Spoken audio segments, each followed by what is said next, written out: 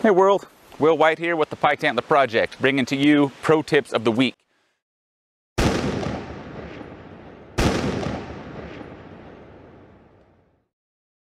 COVID-19 is going on, quarantine should be ending soon, so that kind of, uh, the fact that COVID's existing and quarantining, we can't have any classes, we still want to provide information and content to help you in your day-to-day -day life and help you stay alive. So what we're going to do is launch something called the Pro Tip of the Week.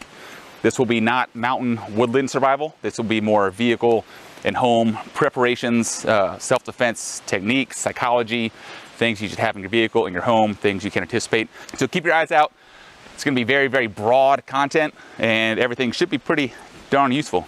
So keep your eyes out. Go ahead and like our Facebook page. That way the information we're sending will pop up on your feed and you'll see it. You don't have to look for it. Easy peasy. Stay alive as long as you can.